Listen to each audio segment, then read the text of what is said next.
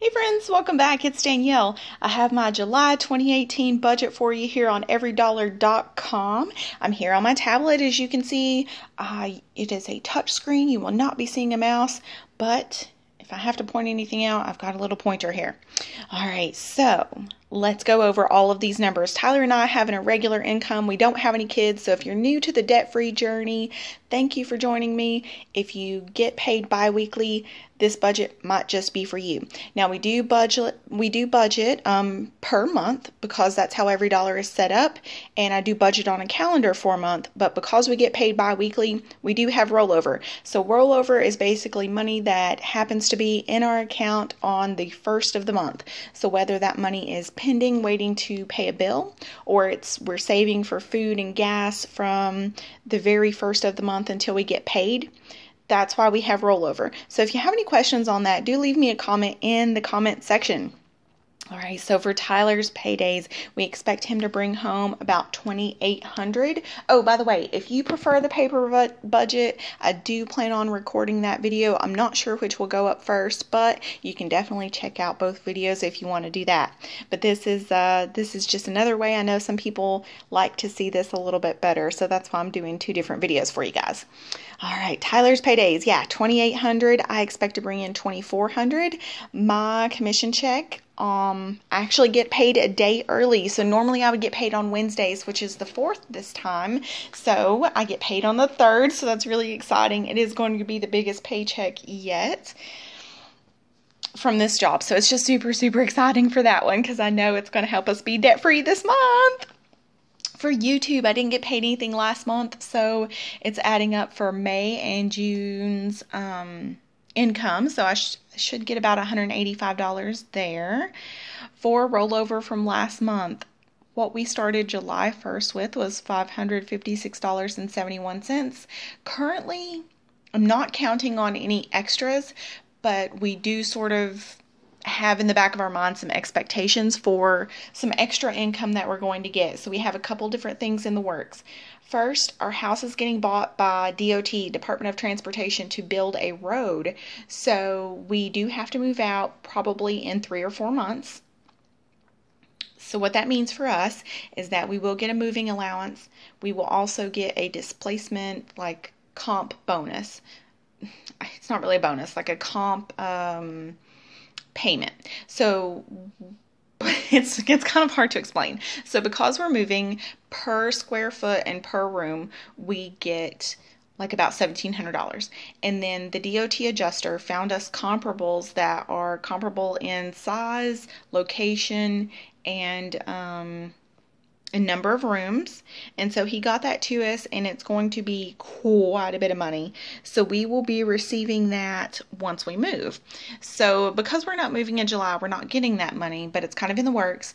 But the DOT expects to close on our house before the end of the month. And so as soon as that happens, the people who are managing our um, our house right now will no longer be managing us, we should get our deposit back. Our deposit was $950 for this house. So that will either go, depending on when we get it, it's going to go straight to debt or into the emergency fund, and we're going to start saving to move. And then also, we're expecting a refund from way back in like January, February. We canceled Tyler's um, health insurance because he got health insurance through his work. We were paying out of pocket last year. So we hope to get that refund this month. And so maybe that will all add in, maybe it won't because I'm also paid hourly and commission. Um, mine will definitely change at least a little bit. And then Tyler, uh, his quarterly bonus should come this month again, it's one of those things we never like to count on. As soon as we get that, either debt or emergency fund. So we expect to bring in at least $5,941.71. So if you're kind of following along in the process to help you create a budget, we always like to um, estimate our income low and our expenses high. That way, there's always a little bit of leftover money, and then we can account for it later on. For monthly bills, as you can see on the left hand side, I have the name of the bill as well as the due date on there. That kind of helps me track in case something, you know, I'm looking at the budget on my phone. I'm like, oh, hey, we haven't paid this yet for some reason. Um, I always like to put those dates on there. So Verizon, our bill is going to be 245.44. Our Spectrum Internet cable phone is going to be 114.08. Netflix is going to be 14.93. Our electricity is from Duke Energy. It's going to be 106.90. And because we do expect them to close on our house this month, we will not have to pay rent at this house anymore. that saves us $950. So if something happens and they don't cl- fully close on the house, um, the offer's already been made, but if they don't close before the end of July, we may have to go ahead and pay rent, but I really don't expect to. Dollar Shave Club. We're on the every other month plan. We have enough credits. We do not have to pay anything for this for a while. So thank you guys so much for using my referral link. We've been getting razors for free for a while now, and it's really awesome. So thank you, thank you so much for using my referral link. Water bill is due every other month. It's going to be 3113 for July. Moving on to variable expenses. These happen every single month, but they are always just a little bit different. Groceries, $650. So this is a little bit higher than normal. We used to budget 500 and because we switched over from keto to nutritarian, um, we we just really aren't sure how much we're going to be spending. We buy we've been buying like a lot of staple items, but um not sure. So we're going to see how that kind of goes um, $650. Restaurants, um, budgeting 300 We are going to be taking a trip up to Delaware in the middle of the month to celebrate being debt free. Um, we decided we wanted to do a fun trip, get to the beach, be, go somewhere we've never been before. And so we're definitely going to be eating out for that whole the whole trip. So we'll see how that goes. Budgeting 300. I definitely do not expect to spend more than that. For gas, we're going to budget 190. So normally we had been budgeting about 120 and uh, gas prices have definitely went up and we're going to be taking that trip. So 190 personal and entertainment we're upping that this month to 400 we want to buy some souvenirs and some different things when we're in delaware. So 400 for that. Because we get paid on august 1st i don't expect to roll any money over.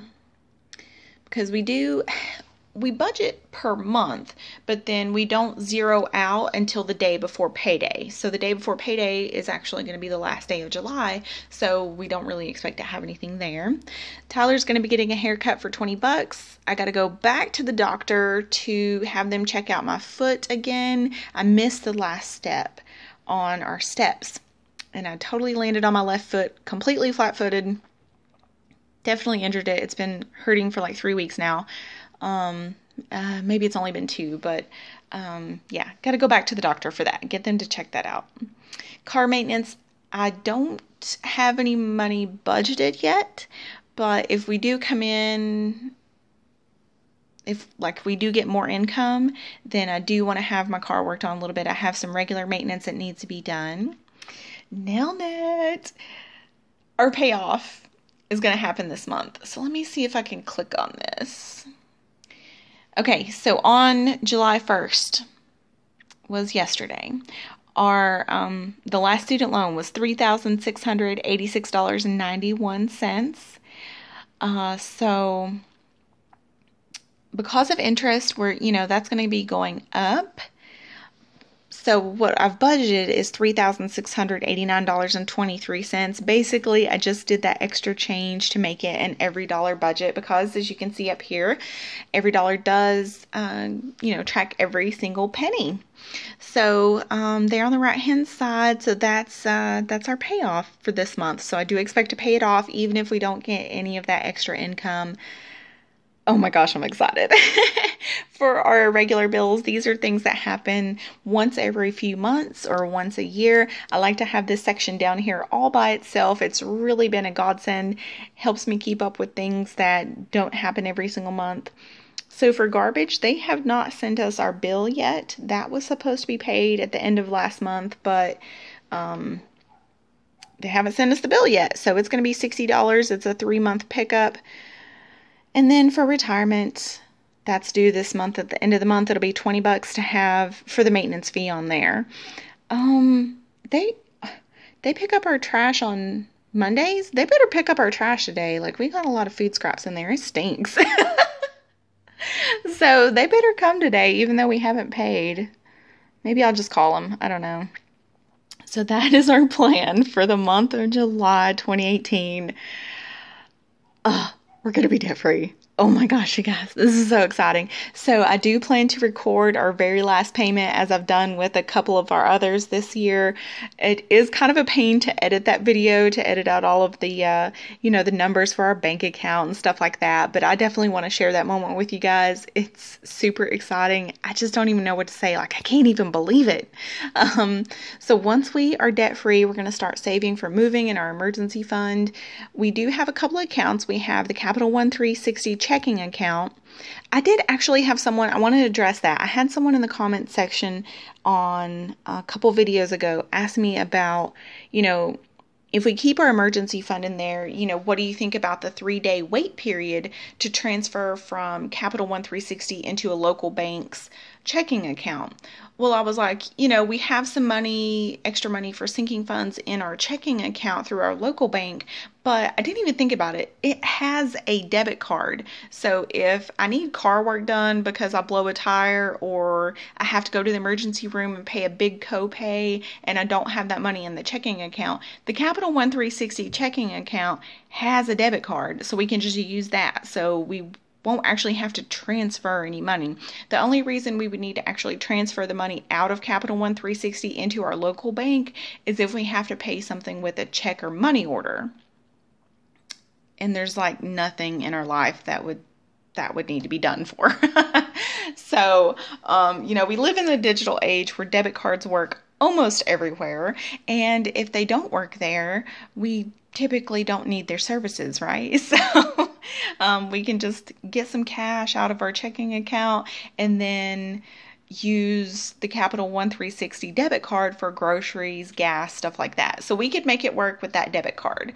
So if you have any questions on Capital One 360, let me know in the comment section. Let me know what your plan is for July. Did you budget for Independence Day? Are you in the US? Oh, shout out to my Canadian watchers. You guys have, like, for a solid six months, been watching me more than my US peeps. I just thought that was crazy. I kind of looked at my analytics and looked at the breakdown, and I have more watchers from Canada than the US. So, what do you guys think about my very country southern accent? Um, I've never been able to get rid of it we still live in the South, um, so it's kind of funny. I do still have my P.O. box, you guys. So if you want to send me anything, I would be very happy to return a letter to you or a postcard. I love getting letters in the mail. I've gotten a few lately that you know, you guys are talking about your debt free journey and you're sharing.